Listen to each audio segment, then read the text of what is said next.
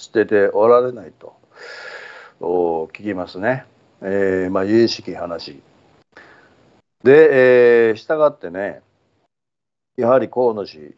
に関しては、まあ、徹底的にね、えー、なすべき批判をしておかないといけないと思ってます。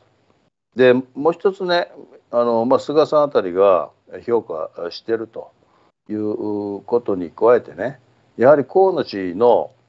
最大の看板と言えるのが、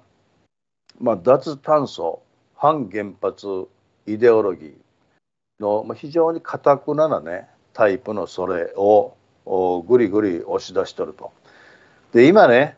日本では情けないことに自民党から共産党令和に至るまで全ての党がね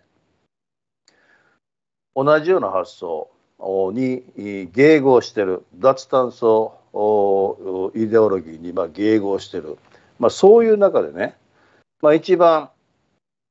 このまあなんていうかね直線的な議論をしててしかも自民党にいてそれなりの発信力影響力がある河野太郎。このね河野太郎を首相につけて脱炭素イデオロギーをぐいぐい進めようと。そしてそれには利権がひっついてきますからね。脱炭素利権。これをねどんどん確保していきたいというような勢力が河野氏。まあある意味でのねあの馬力があるわけです。まあ、の要するに他人の批判なんていうものをね謙虚に聞く姿勢ゼロ。で官僚にに対してはね、まあ、ちょっともっとバランスの取れたエネルギー政策が必要だというような進言をする官僚に対してはとにかくね怒鳴りつけると後でも言いますけれどもねまあ皆さんもあの動画音声、えー、録音されたものねえー、聞いた人多いと思いますけれども、まあ、聞くに耐えないねどこのチンピラなんだこいつはという感じでね。おめえなどうこうというねおめえなんていう言葉を使ってねあのバランス取れたエネルギー政策必要ですという官僚をね、えー、権力を重にどうやつけ取ると、まあ、ここれを、まあ、実に集約というかねまあそれだけでもあこいつ話にならないなということなんですがところがね自民党のかなりの議員あたりがこの河野氏を首相にしようとね総理総裁にしようと考えとると、まあ、これ見てもね今自民党という組織が全体としてまあこれも公正不可能。解体してね、まあ、ままともな人たちは、えー、百田さん有本さん中心のね日本保守党あたりに入れてくださいと。入れてくれるかどうかあ分かりませんけど、まあ、選別が行われるでしょうけどもね、まあ、自民党はっきり終わっちゃってねかなりのまともな人たちは、えー、そういうね日本保守党の方へ行った方がね入れてくださいと言った方がいいと思うんですけどもねさてこの河野氏ねまあ私もご多分に漏れずえー、彼のね、えー、X 旧ツイッターからはブロックされてます。えー、まあどうでもいいんですけどもね。でまあ私が彼の書いてることをまあろくなこと書いてないんでね引用ツイートをする中で、えー、河野グレ太郎と いうね愛らしいニックネームをまあつけたったわけですけど、まあ、それに対してねあの反発したのがねすぐブロックしてきましたね。あのまあ、今サイコパス河野と言ってるんでね。当時のグレ太郎はねおむしろ可愛い相性だったんじゃないのと思ってるしまだ河野氏自身がねあのグレタ・トゥンベリさんスウェーデンの環境少女もう二十歳、え超えましたかね。えー、まあ、脱炭素プロパガンダに国際的に、えー、まあ、使われてると言ってもいい女性ですけれどもこのグレタさんに対するね損数の念をね、えー、いろんなところで明らかにしておる、まあ、河野氏の本、まあ、私もねまあ、しょうもない本だなと思いながらも、まあ、このね論文ここにこの論文書く時にもね一応必要なんでやっぱファクトに基づいてね、えー、しっかり書かないといけませんからね、えー、だからまあ 金の無駄だとか言わずにね河野氏の書いた本、えー、電子版で買ってね、えー、読みましたよ。えー、やっぱりそういう姿勢大事ですからね。読んだ上で読んだ上で批判するっていうね。でいいこと書いたらそれねあの褒めてあげようと。いう姿勢で読み通しましたけど褒める部分ゼロでしたね。まああの予想以上にこの男ダメだなと。思いましたけれども。さて。でね河野氏がその本の中でね割と最近出した本ですよ。何冊も出してますけど彼。割と最近の一番新しい本かな。タイトル忘れましたけどね、まあ、その中でねあの自分が外務大臣時代、まあ、ちなみにね彼をあの外務大臣とか防衛大臣に、まあ、安倍さんが起用して箔をつけてしまったと。これはやっぱ安倍さんの人事におけるね最大の誤りでしょうね。河野太郎氏に箔をつけたっていうこととおまあうん社民党あたりと事実上つるんどるね。LGBT イデオロギストの稲田朋美さんをおトントン拍子2段跳び3段跳びぐらいで出世させたっていうね。これまあ安倍さんの人事のね2大ミスだと。思いますけれども。で河野氏に関してはねやはり彼が所属する派閥の、えー、麻生太郎さんがね、まあ、河野にちょっと箔つけたってくれよというふうに安倍さんに言われたとも聞いてますしね。でまたあの菅義偉官房長官ですね、えー、安倍さんが首相の時の官房長官。菅さんがやはり河野太郎氏をね、えー、非常に高く、うん、評価するというまあ名簿状態に陥っておられるということで、まあ、盟友のね、えー、その菅、えー、そして麻生このお二人、えー、からいろいろプッシュがあるということも含めてね、えー、河野氏を外相とか防衛省にしちゃったと。おまあ、あの大きなミスでしたね、まあ、ただ安倍さんはね、えー、それ間違いだったと。いうことを後で、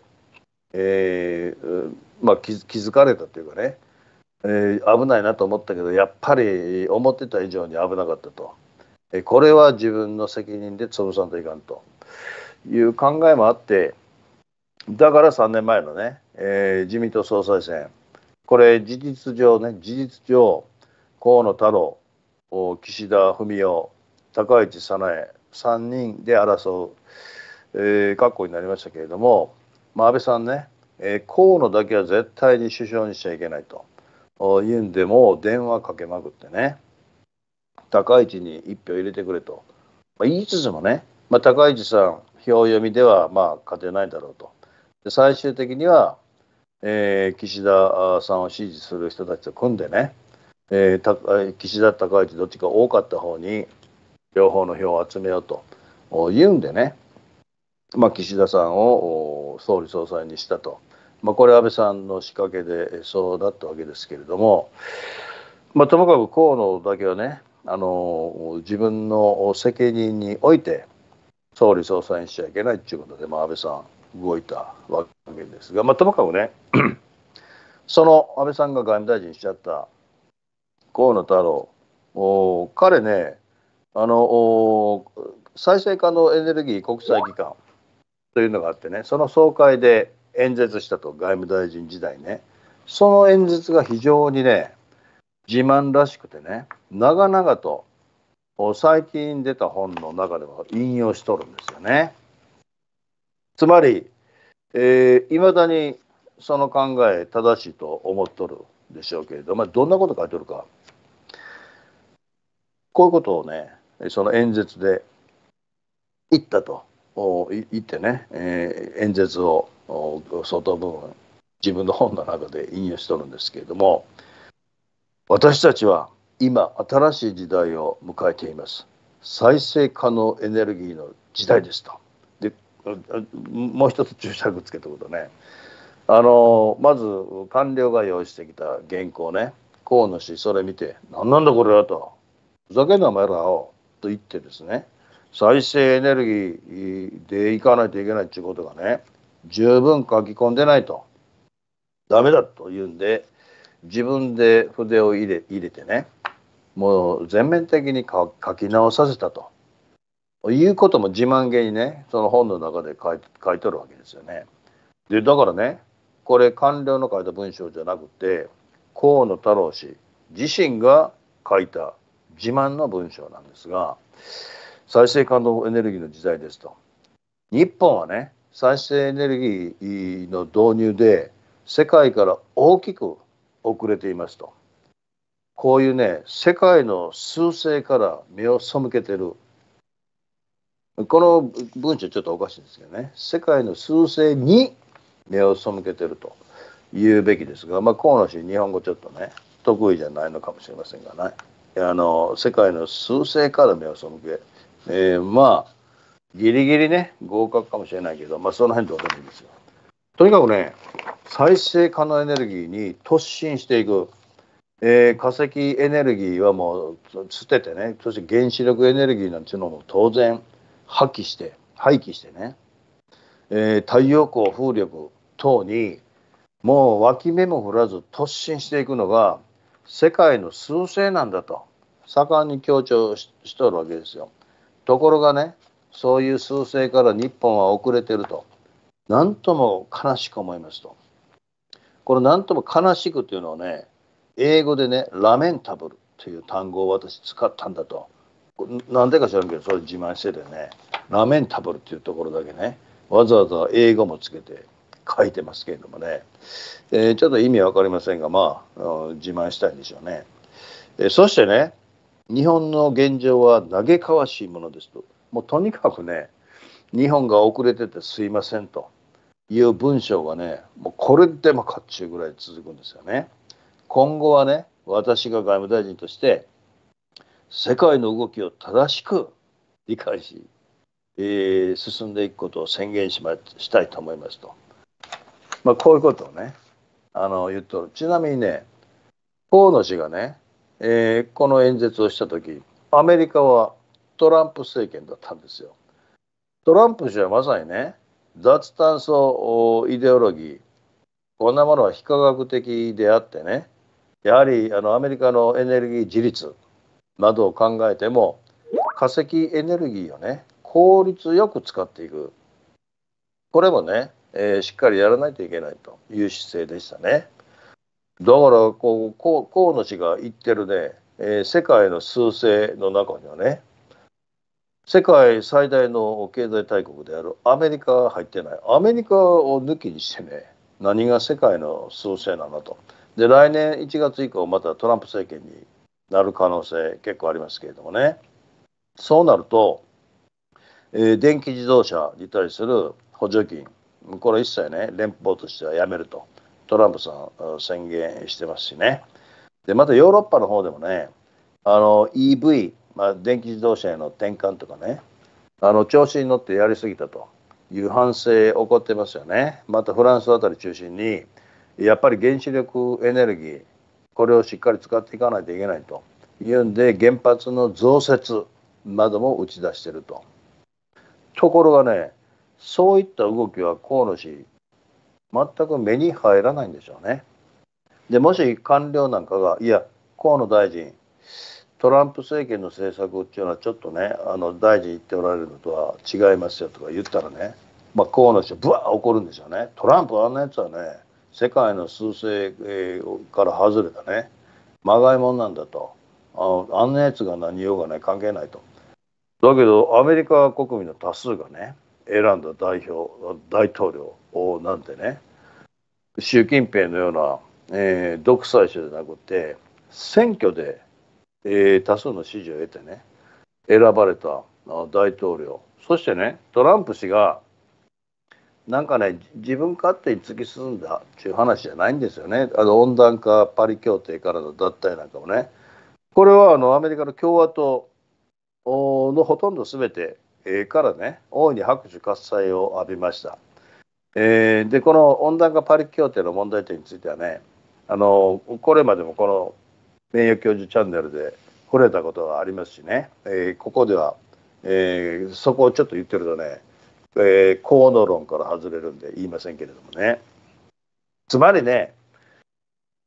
河野氏がね自分のこう得意らしいなかなかと引用した演説の中で、えー、繰り返し言っとるね。世界の趨勢。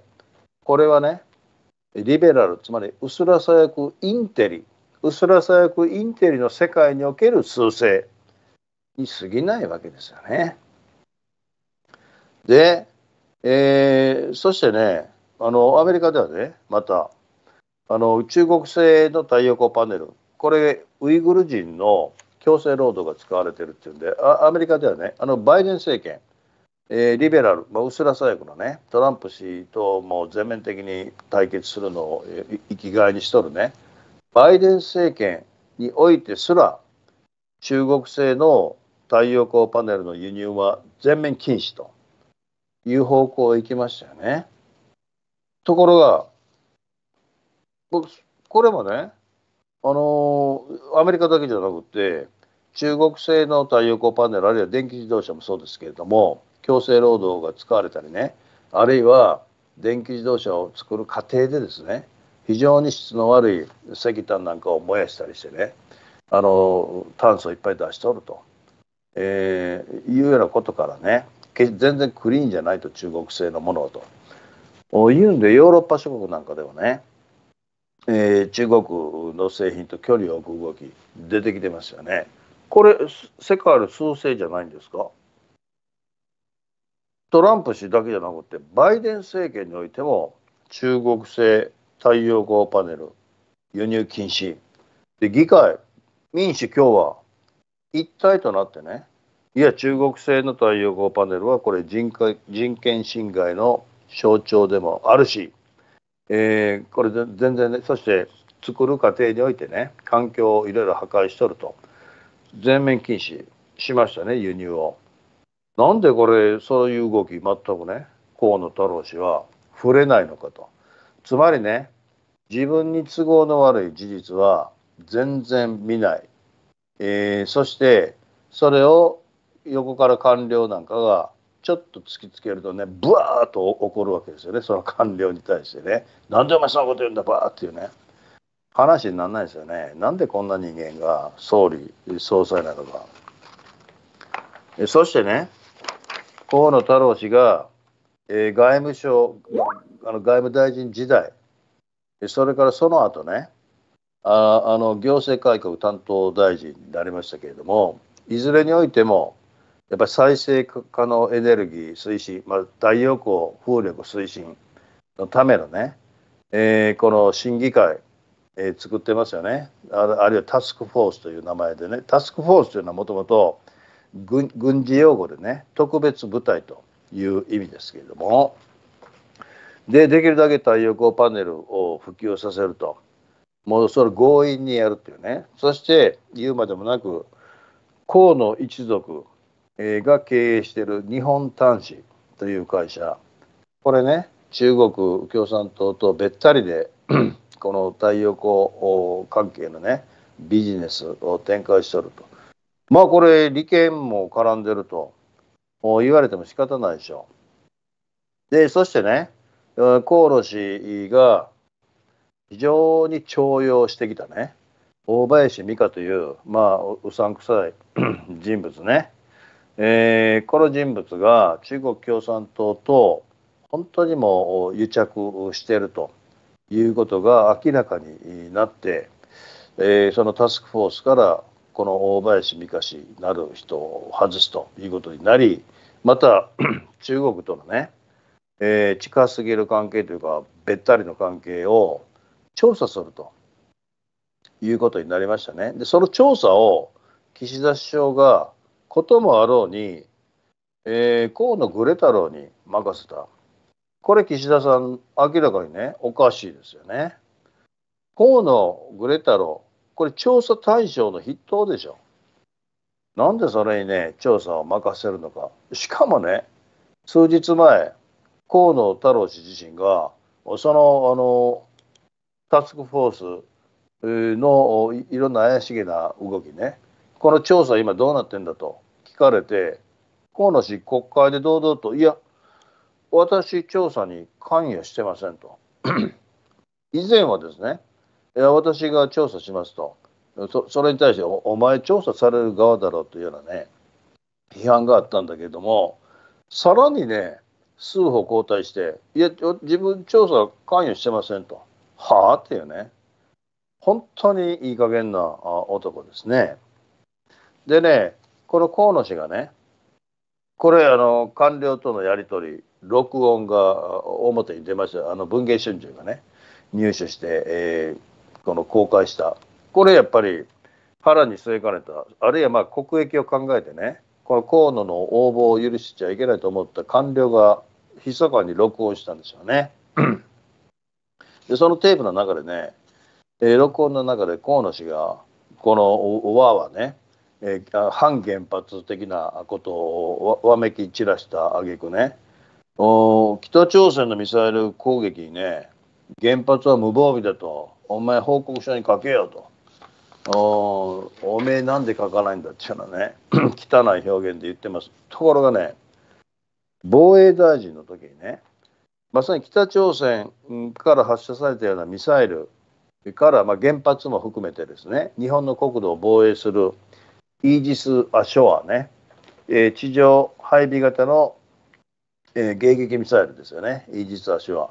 これの配備をね突然やめたのが河野防衛大臣ですよね。だから原発も含めてですね防備するための迎撃ミサイル。その配備をやめた責任者でありながらねおい原発にミサイル飛んできたらお前どうすんだ責任取れんのかと言っとると。ふざけきった話ですねこの男。でねそのイージス・アショアの配備を中止した時河野氏が言ったのはいやいや要するにねこう迎撃ミサイルを撃った場合このブースター空になったね。この迎撃ミサイルブースターの空タンクが地上に落ちてくると。それがね民家に、えー、当たったり歩いてる歩行者にね、まあ、歩いてる人に当たったりするかもしれないと。そんな確率はほとんどゼロに近いんですよ。このブースターっていうのは、まあ、あの2メートルぐらい長さ2メートルぐらい空になったもんですけどね。長さ2メートルのものが落ちてきて それが人やね家を直撃する可能性極めて低い。しかもねこう落ちてきたらね何十万人という人が死ぬ。そのね核ミサイルを迎撃する。その迎撃ミサイルの空タンクが落ちてきた場合ねひょひょっとしたら誰かに当たって亡くなるかもしれないと。これねリスク計算この男全くできないんですが何十万人が死ぬというねそれを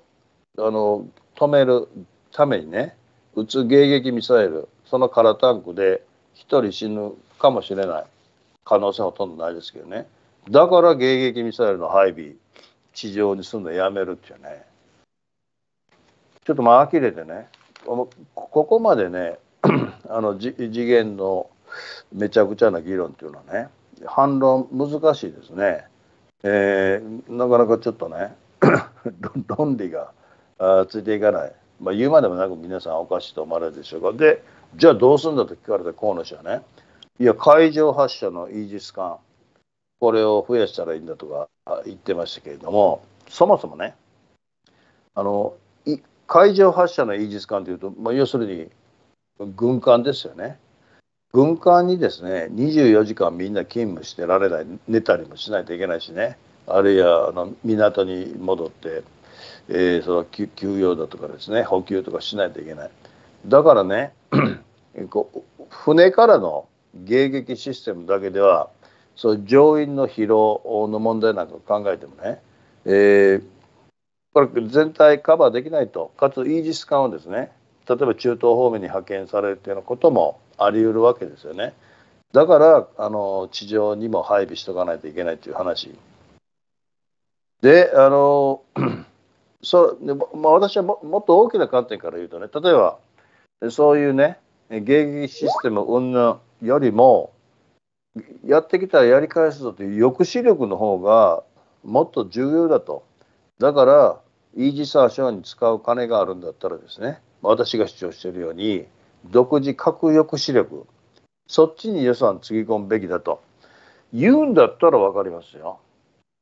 じゃなくそうじゃなくってね、えー、単に、えー、やめますというだけ。迎撃システムをね地上配備型を。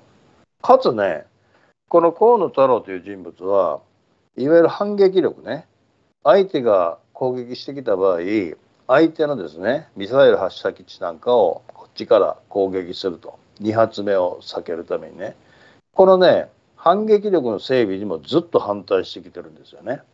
まあ、そんな反撃力を持つと中国を刺激してよくないという趣旨ですよ。だもちろん独自核抑止力なんてねそれはもう一個だにしないんでしょうけれどもね。えー、ということでねこの迎撃システム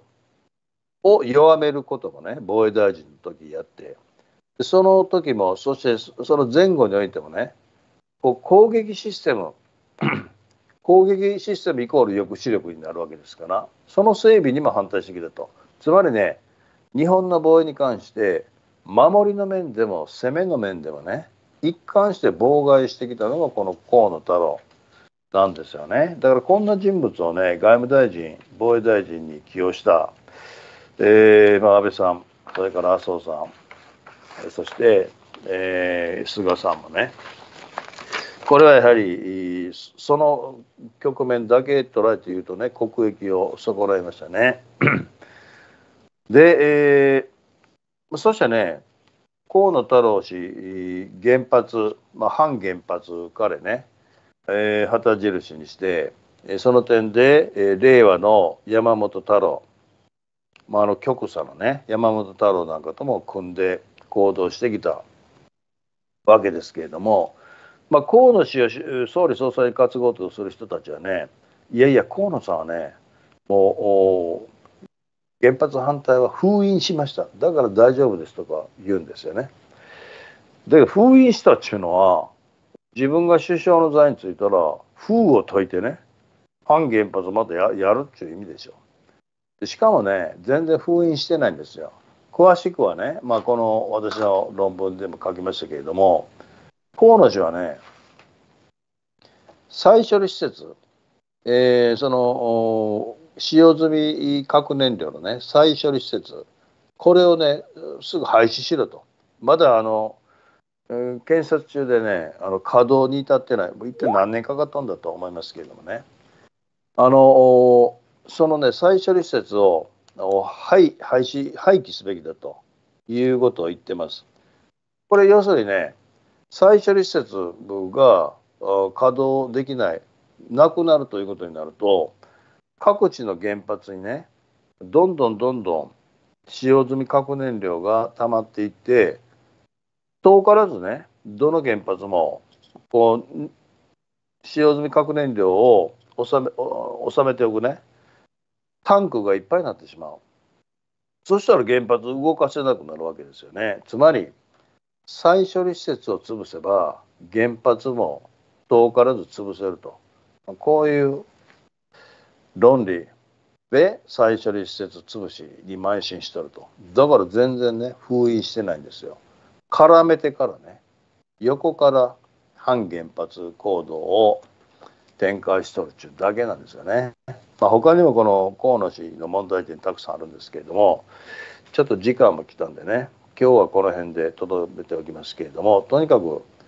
えー、総理総裁などにしてはね絶対にならない、えー、人物ですねまたもう一言だけ言えばね河野氏が総理総裁に色気を示しとるそしてそれを支持するね愚かな自民党議員が少なくないと。この状況があるからですね。河野よりましだからこいつでいいじゃないのっちゅうんで2選級3選級の人間が次々首相になっていくっていうね。こういうパターン極めて問題ですよね。まあ、その辺またあの会を改めてね議論したいと思いますけど、さて次回はね、えー、17